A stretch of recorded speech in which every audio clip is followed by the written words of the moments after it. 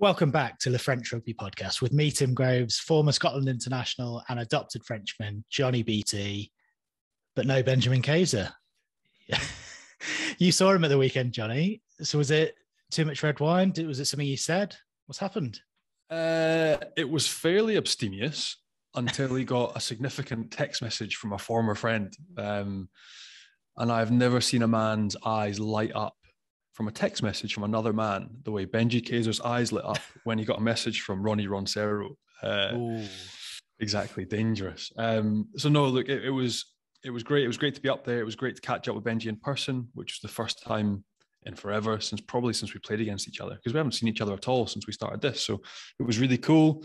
It was also very cool to see how he operates as a pundit, the coolest man in the world, coolest cucumber, just rocks up natural, all flows out, uh, very effortless compared to me, which is very robotic and trying my ass off. Um, but great to see him. We even managed to do a bit of prep together before the game, watch the game together, which was very cool.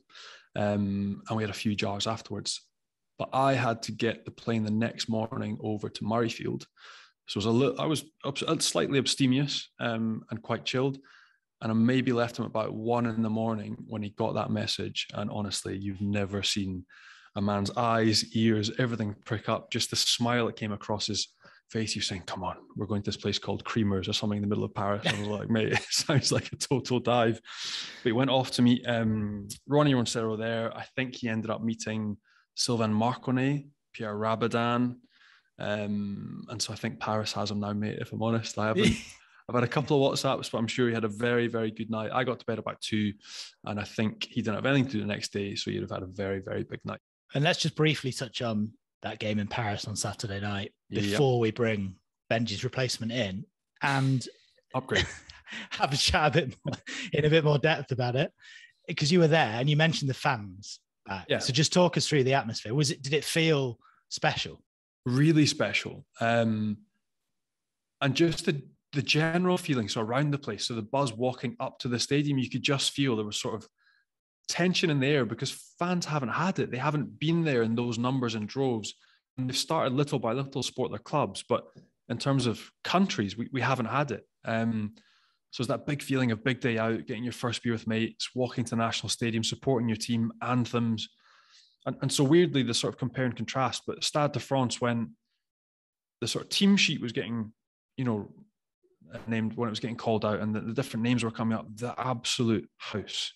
Okay, like for Antoine Dupont, the ovation the man got like it's like Lionel Messi. He is absolutely loved. So people are so happy to be back in stadiums, back watching their national sport, back supporting their teams. And you could see as well the reaction of players when they were getting clapped into stadiums, when the anthems were going, there were tears, smiles, absolutely loving it. During a warm up, there's something tangible now, and there's something in the air that players have missed for two years, and it's amazing for them to to get it back. So for both sides, so for supporters and for the players, for staff, for, stupid people like commentary, like the lift it gives you when you're going through, um, it can't be replaced. And it's been a little bit soulless over the past couple of years. So it was just really very cool to to have that back, have that feeling back, and to be back in national stadiums with your mates, have a beer, and enjoy the rugby at the weekend. You mentioned Dupont. All the talk in the build-up was about yeah. his captaincy, and then about his combination with Matthieu Jalibert. So on both fronts, yeah. a diff- difficult game for him. But how did he um, go in the in the captaincy? Look, in, in strictly in the captaincy, fine. Um, he's a really calm, cool, collected individual. He's not somebody who's going to fall out with the referee. He manages things well. He calls well. Um, the game didn't really flow. Um, so in terms of individual brilliance, we didn't see super Antoine Dupont, but we saw in fits and starts how he can break the game apart by himself, create something from nothing, which he always does.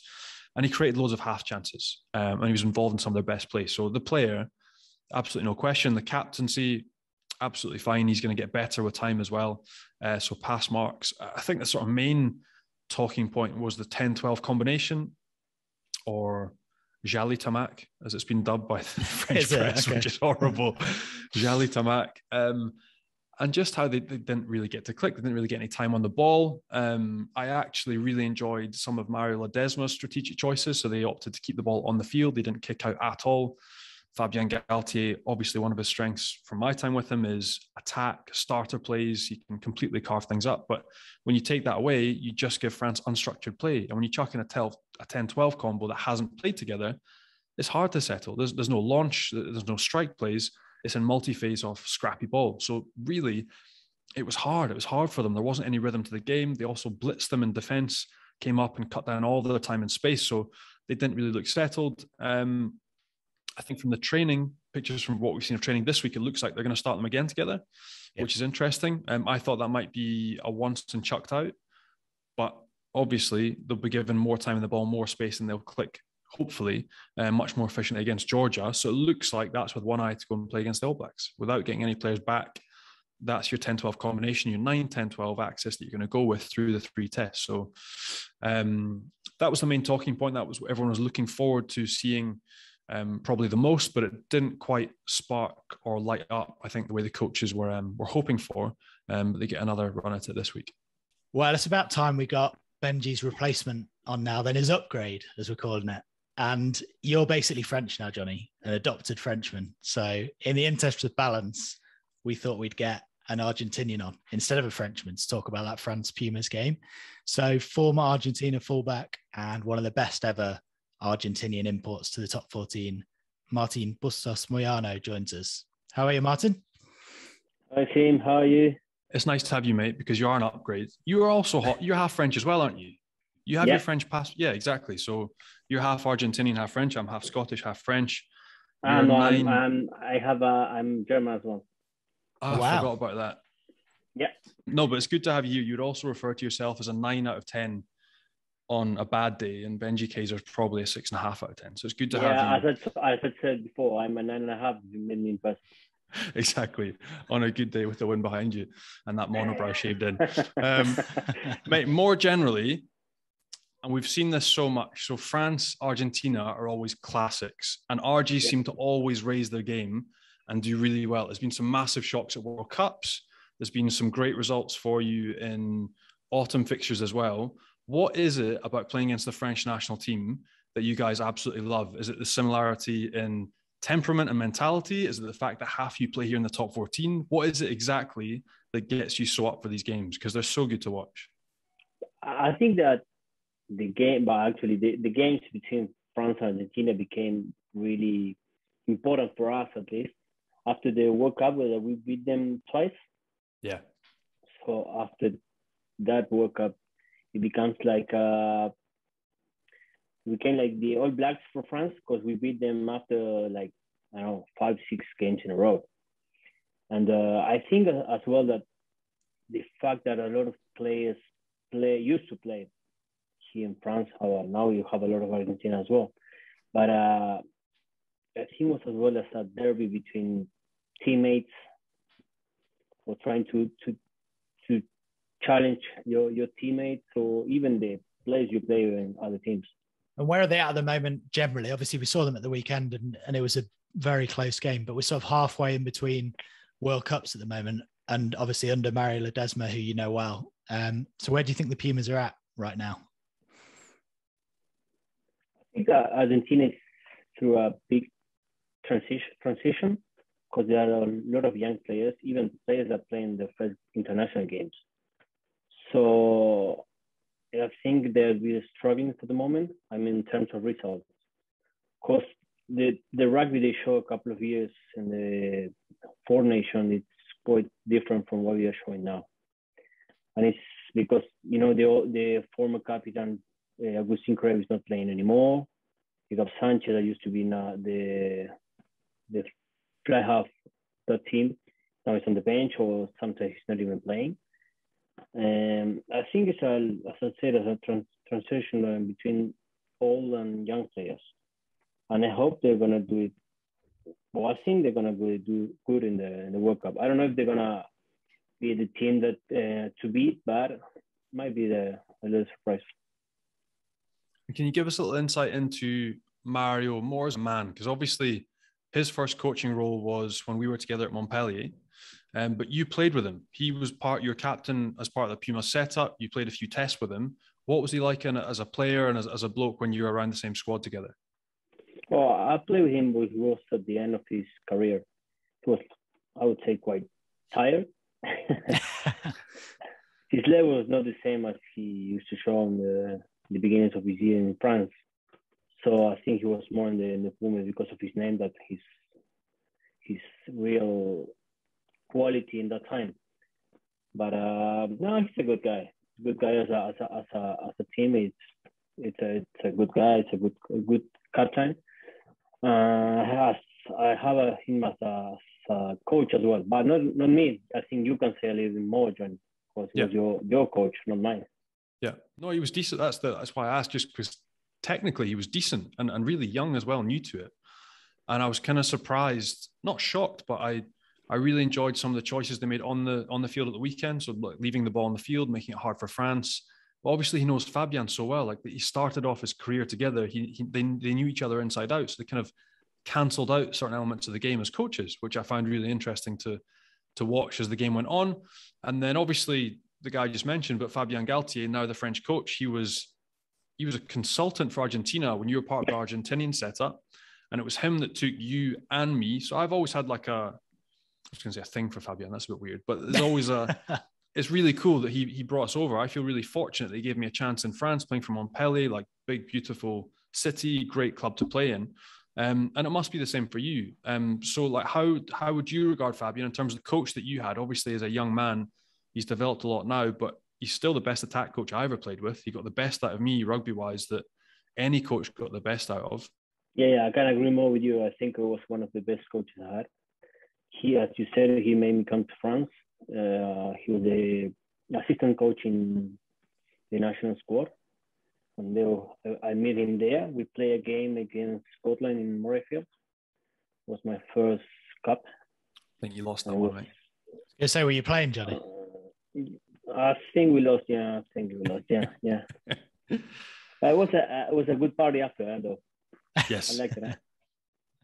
And uh, yeah, as you said, it's a, it's a great coach, great tactical, tactical coach, technical coach. But uh, apart from that, and you know, human, hu- the human part of Fabien is quite complicated because being with Fabien is quite like intense and in terms of, as I said, uh, the human, his human part is not that sensible.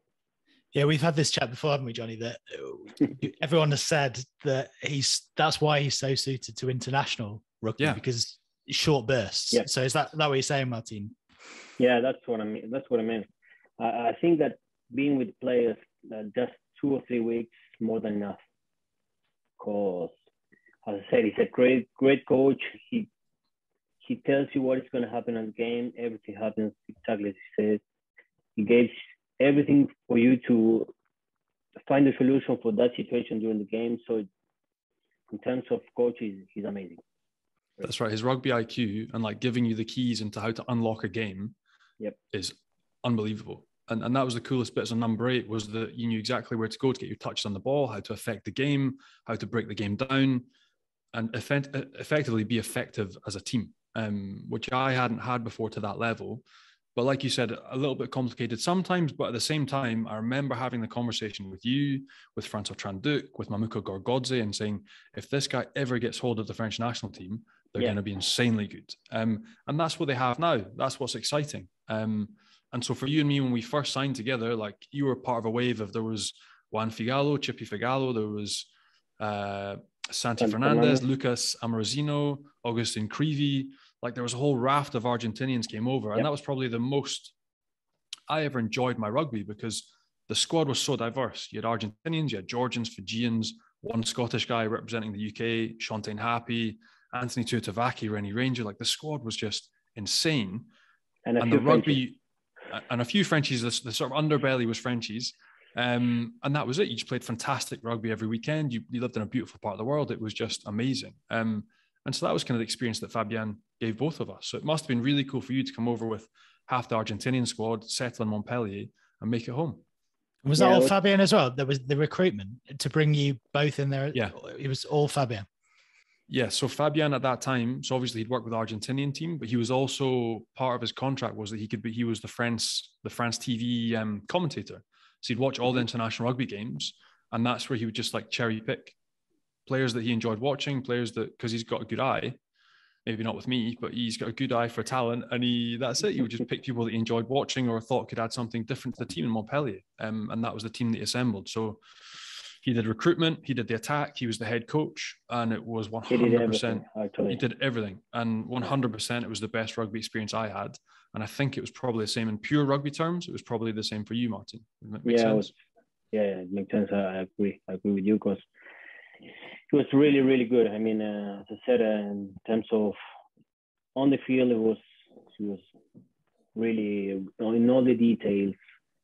It was and, and I think with him, I started learning how to watch a game, not just as a fan, it's not that uh, analyze, analyze the analyze the games because he gave us different situations along the week to prepare the game, and that was the first time somebody offered me that, and and I think I evolved a lot with him as a, as a player.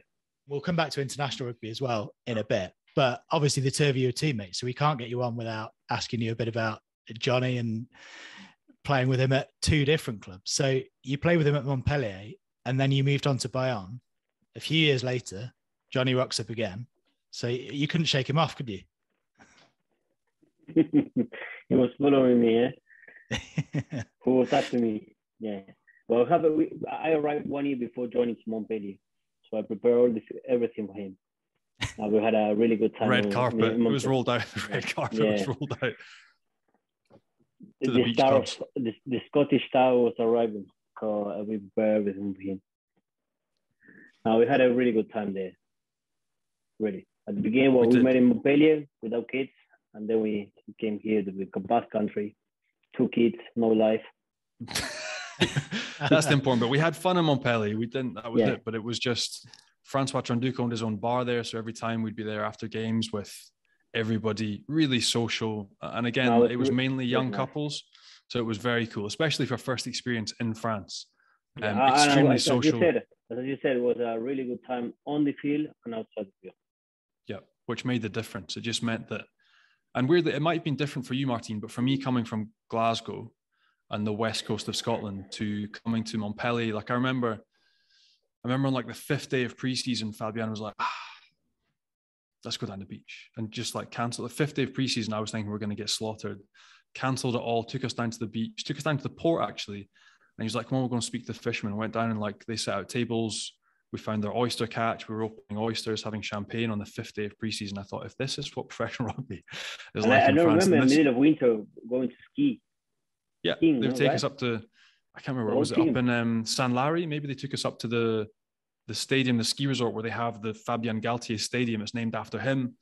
Yeah. Um, and there would be like one or two days of activity, which would be climbing up a mountain in the snow, but that'd be followed by three or four days of team bonding, barbecues, um, and just a fun time. So it was an incredible first experience um, in France and really cool that we got to do it together with such an eclectic yeah. mix of nationalities, personalities.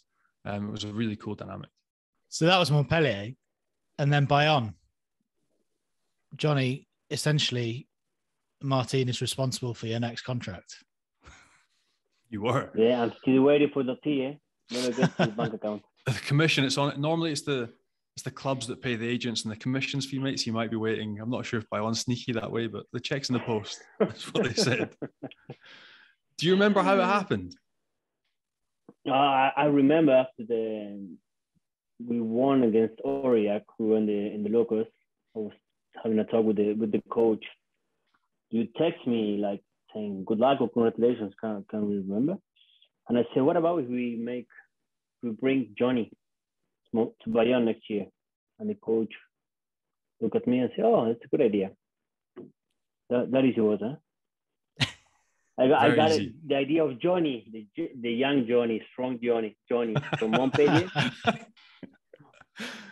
and you got a slightly, slightly, slightly beaten up older version. I, I, can remember not really taking it seriously yeah. without causing offense. I can remember sending a message yeah, to you because obviously we're mates and had a really good time on Pelly, just sending you well and, and, wishing you well for the final against Aurillac.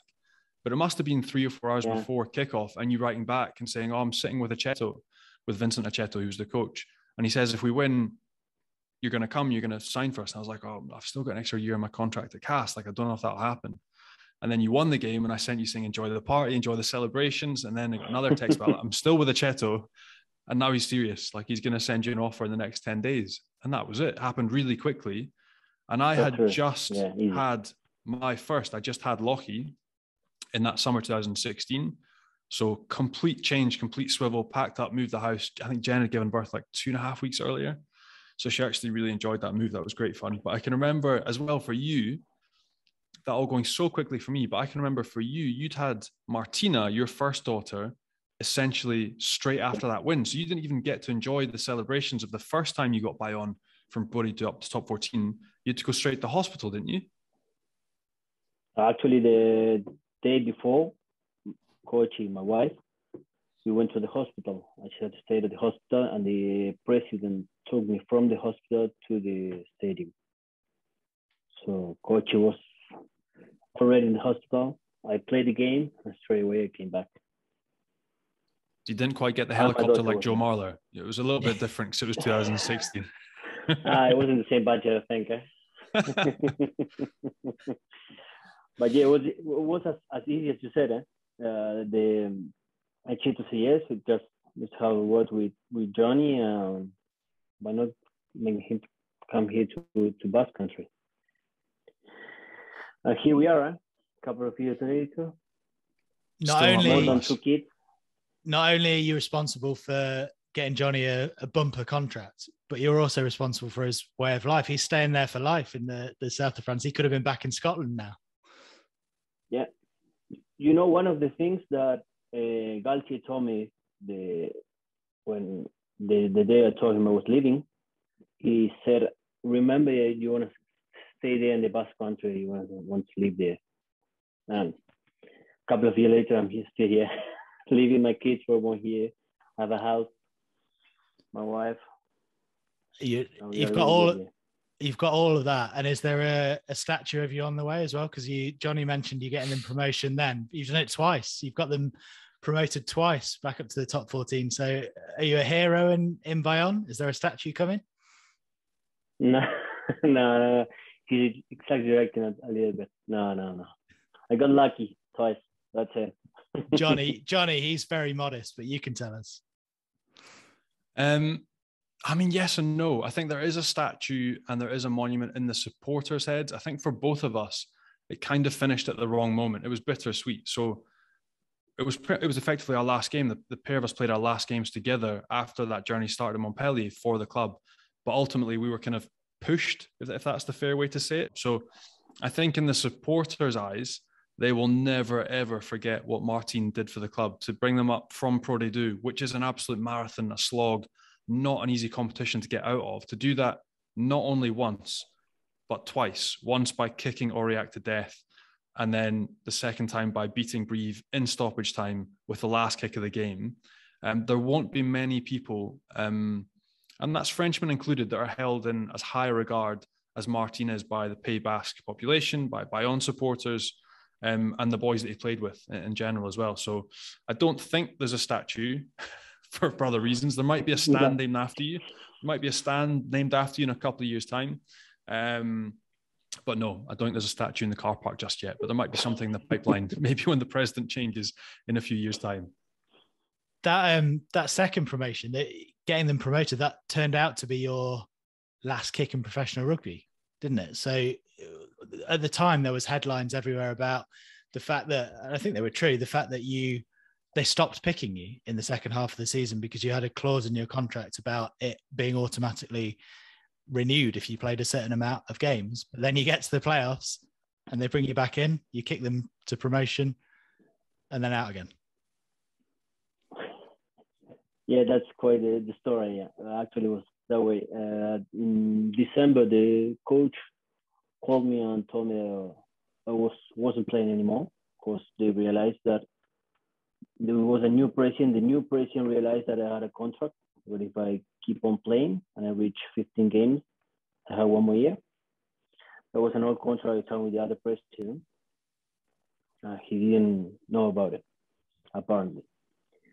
So they say even you you say no to that clause and you you play, or you stay outside the field. So I stayed outside the field for two or three months till I said, okay, stop. I will be the one that to decide where if I keep on playing or not, not the club. So I said, okay, I, I don't mind. I will say no to that clause, and I will I will be available for for the coach. And that was the way it was. It's a shame, but uh, at least uh, I finished rugby the way I want on the field and outside the field. I, I take that and I stay with that. That's the way I want to remember things. And you mentioned the first promotion, you had to rush straight back to hospital. So that second one, the last game of your professional career, did you manage to celebrate that? Tell me you did. Yeah, yeah, we did. We did. We did, we did with Johnny, with the whole team. Yeah, I, I think was a, it was a a good way of. Well, you can ask Johnny what happened with him after the game. I was, I was gonna, I was gonna ask you. Obviously, I got left by the by the staff manager who left me in the stadium because Paul, our Namibian number eight, was taking a piss and doing his drug testing. So they forgot about us because they were so keen to get back to Bayonne and get on it and enjoy the party. So they forgot about me. So I was going to ask you, how was the bus trip? Did you enjoy it? I hope it was worth it. I enjoyed how did you, it, how yeah. did you, you enjoyed that bit probably the most. I know, I know you did. Um, but the the celebrations afterwards were amazing. Even though it finished on a on a strange note, it was it was so good to finish with the players, with the staff, and with thousands of supporters in Bayonne. Yeah, you were again, you were up on crazy. the you were the you were the balcony in the mairie, um, kissing babies and switching on the Christmas lights and the hero of the town. Um, so you absolutely loved it. But it was, it was just an amazing way to finish, even though it wasn't exactly easy for either of us during the year. Um, it was a very cool way to finish together in the end. Yeah, it was a really long year, and it was was a very good way to finish it.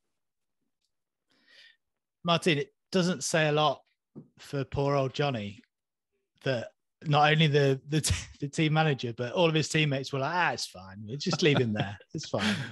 or he didn't even notice that he wasn't on the bus. I didn't. I didn't know Johnny wasn't on the bus. No, I didn't even notice really. I'm not gonna lie to you. Johnny, No, I don't. I don't judge you, mate. I, I wouldn't have noticed either, mate. You were having the time of your life.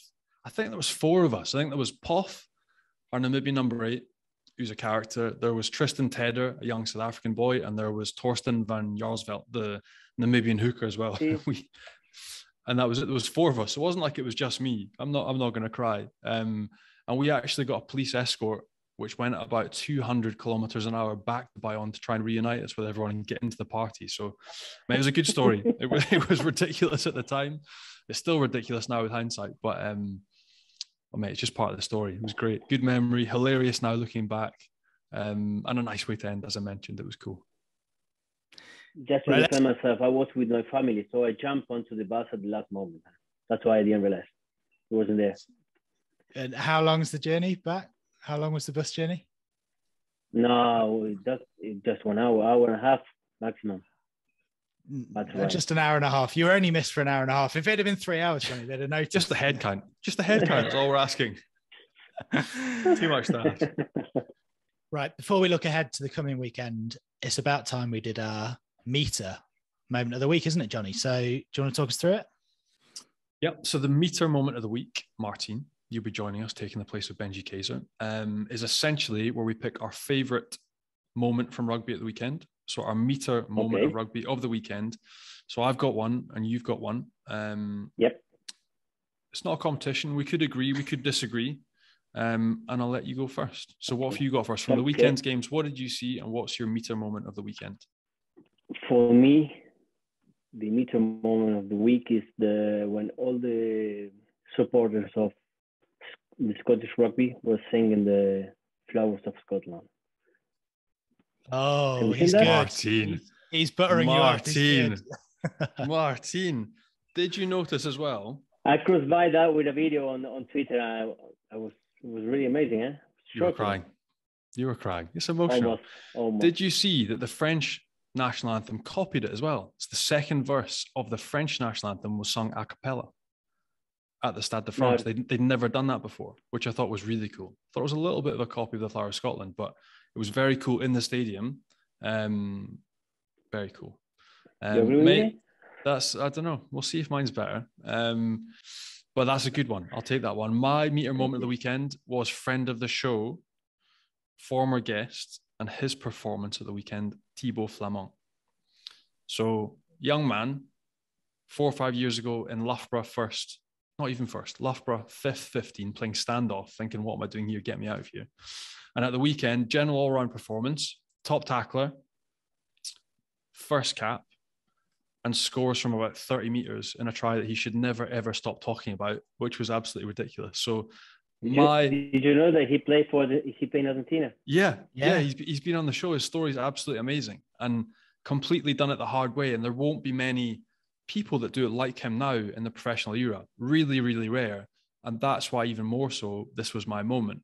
Um, my MEATER moment is his performance, his first cap, his first try, top tackler, and basically an amazing weekend. It must have been ridiculous for him, for his family, and a way to celebrate. So that is my moment of the weekend by MEATER, is the performance of Thibaud Flament.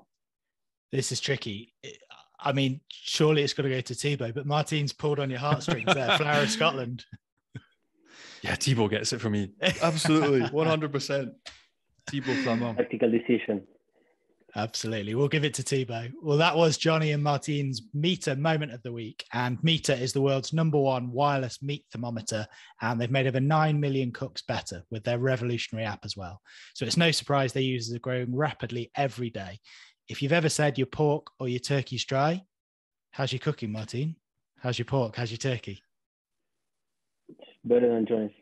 No, it's not. He's Argentinian. He likes his steak well done. It's disgraceful. It's like leather. So he could do the MEATER, Martin. You need one for Christmas. For all Argentinians, have this is what you need you need have no to do idea. your steak properly. Don't judge me. You have no idea. Well, Martin, you can use it on a barbecue, in the oven, or in a pan. We'll send you one over for Christmas. Please. Enter a ho- enter a whole new world of cooking and join the Cool. At www.meater.com and just use the code FrenchPod10 at checkout for 10% off any full price item as well. Let's look ahead to this weekend then and France Georgia in Bordeaux. So, how good is it to see them playing outside of Paris, first of all? Very cool. Um, Especially for a rugby hotbed that is the southwest of France. So everyone around here is going absolutely bananas and they're looking forward to driving up. You know, it's not a big flight up or a trek up to Paris. It's a stadium that's near to this area of France. The south of France is where, I mean, they really should move the national stadium down here, to be honest. Definitely. Um, and this is where the rugby population is, and that's why everyone's pumped. I know it's only a test against Georgia, um, but very cool to see something slightly further south um, and a little bit of a point of difference for the French rugby fans. They'll be really excited.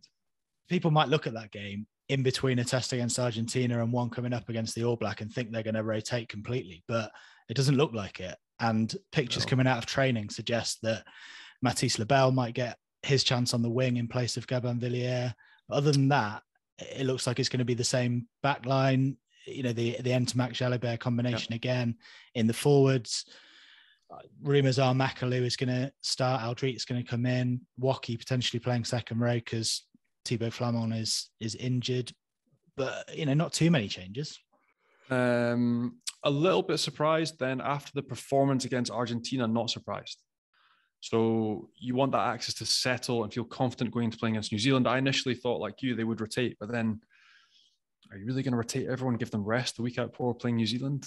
Not really. So look, it's the right choice. It didn't quite spark the way they wanted, although it was workmanlike the victory against Argentina. But the, the guys you mentioned there, I don't think there'll be many changes at all, if any. I think Greg Alldritt might come in as a possibility, but you mentioned Woki moving up to second row. I think that's just because Thibaud's been out um, a, a little bit sore after his performance of the weekend. He'll probably slot straight back in um, because he was, for me, the man of the match uh, on the field. Um, and I don't see many changes at all. I think they look for consistency, try and build a little bit of momentum, and that 9, 10, 12 axis that we keep talking about.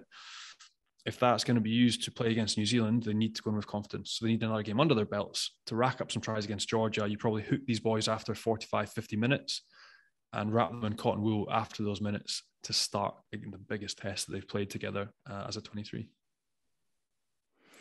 Yeah, we should say these are rumors coming out of training in the early part of the week, so it, Yeah. it could be very different come the end of it. But it does look like they're going to stay fairly consistent, Martin. So is this I think I And to ma- think it's a it's a it's a way of, as well of playing playing against this kind of team that they never play with. against. You know, they never had a chance to play against Georgia, and it might be a team that will they will face in in the World Cup. So it's a hard team. They play hard. They're very good. Um, I think it's going to be a good experience for France, even if they have the if they are not not changing a lot of players and they have the the match against the All Blacks after. But I think it's very useful as well to try new things, different kind of strategies. I don't know. You Galthié have some different systems, so he can change it to from one to another one. It's a way as, as well of evolving. And particularly the Ntamack Jalibert combination, uh, whatever you called it earlier on, Johnnie. And can't even remember. What? Jolly, Jolly Mac, Jolly Mac. That Bear. I don't know what I called it. Surely, surely Enter Bear is better than Jolly Mac, isn't it? But anyway, whatever they want to call it. But that that is something that you know you you know more than Johnnie Martin. That, that in the in the backs you need to work on those combinations, don't you? You can't just play it in not great conditions against a tough Argentina team and then you know rest them and then bring him back against the All Blacks. They need this game, don't they? And they need to to work on that combination. Oh, definitely, they, they need to work. And small details they sometimes are, are more important. And uh, I think if you, as long as he plays a lot of games, you're gonna help him get uh, in the in good shape with the other players. So it's it's important as well to have a, a well at least for me, I prefer playing with two tens like Jalibert and Ntamack. Um, I think. Uh, if he plays against Georgia, he won't play him against New Zealand. Who? Well- Who won't play against New Zealand? Jalibert. Hmm. See, I think the other way. I think if you're going to play them again together, Jalitamack, I've got it back in my head now. if you're going to play them together, it's because you want to string them together and get them used to doing something before they play against you. I think if you play them together in this test match, it's to build confidence and so they can go at it because they don't really have any other players, mate. That's the other thing. With the injuries they've got, the only other option is Jonathan Danty. Um, so yeah, Yeah, I think, that's true, but I think he's going to try something different against the All Blacks. you think you think Fabien will show a different hand. Yeah, she's not gonna she's not gonna show the same hand three games in a row. Uh, Interesting. I'm trying to think as Fabien. Yeah, you know Fabien very well, so you- think he's going to spring a surprise. He doesn't want to show his hand to the All Blacks, and then he's going to. No, he he, he has always a, a surprise. He's always tried to surprise the, the team. So I don't know. We'll see, but I, I think he's gonna play Jalibert and Ntamack this week, but not the not against the Blacks. Interesting. Well, we will get your predictions in for this weekend shortly, but just before we do, there's been a bit of transfer gossip in the top 14, as there usually is every week, and a lot of it centres around Bordeaux, where this weekend's game is. So, what's been going on with Bordeaux, Johnnie? moving chess pieces. There's a coach moving on, is there not, Martin? That was announced in the press here.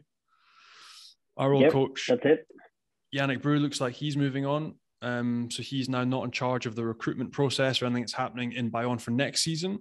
Um, not quite sure where he's going to end up, but rumored that potentially Montpellier, potentially Lyon, and now Bayonne are looking for replacements for next season. And when that happens, it sort of Potentially knocks- racing.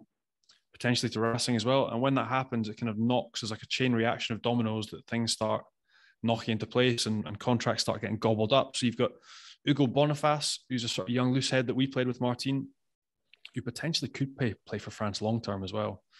Um, really good Fitness coach as well leaving. yeah, there's, there's a few guys leaving. So Ugo looks like he's maybe moving up the road to Bordeaux.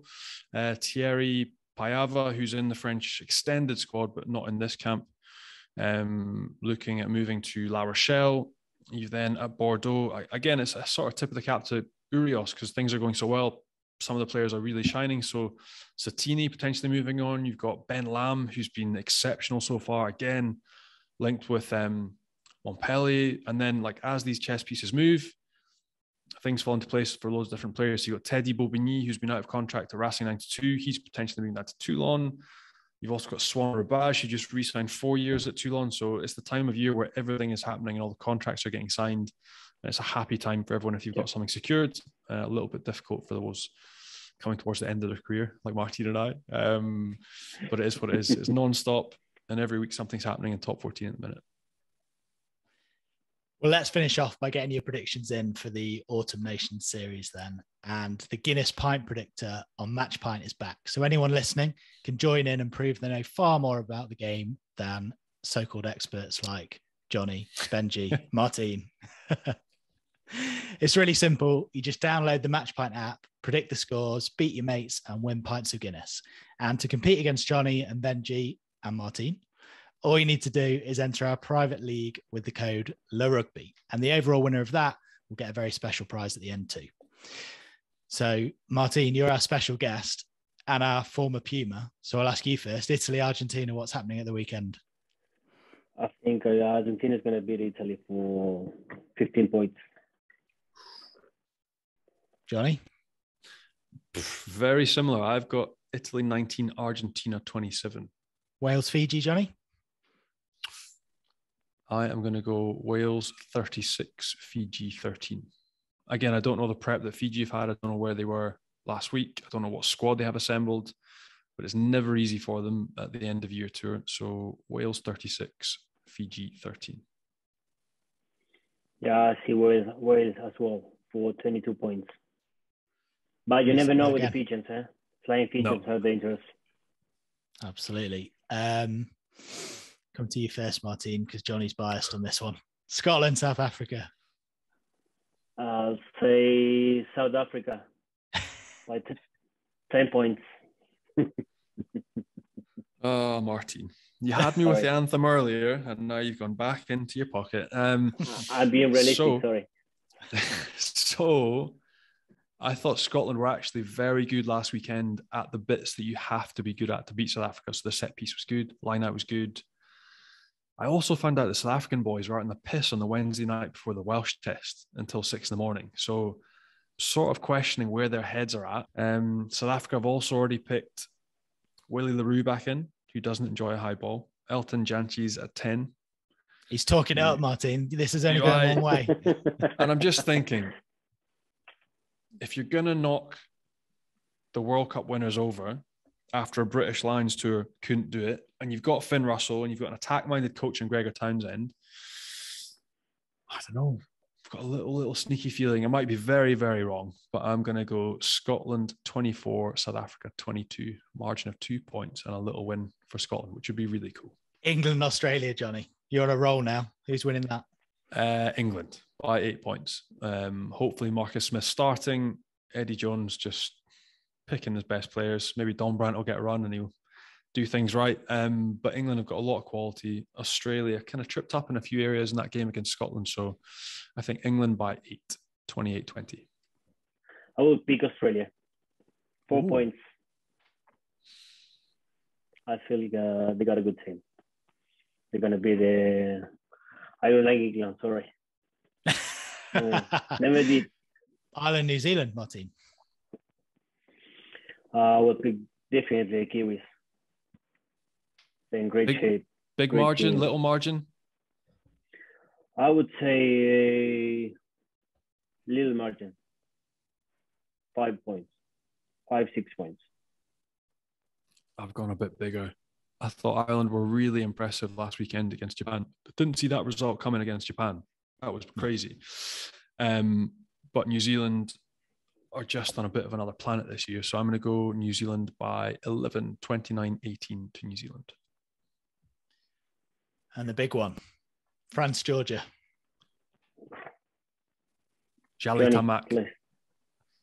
Jalitamack to come together. I don't think Georgia will like they'll be competitive at scrum time and they'll be scrappy at mauls, but I just think overall France got way too much quality, too well coached, too well organized. Um, I am going to go 50 points to nine for France. I will agree with Johnnie this time, but I think it's going to be a uh, 20 points difference between them. Thanks, Johnnie. A big thanks to Martine for filling Benji's boots and doing it even better. We might have you on next week, Martine. oh, thanks very much.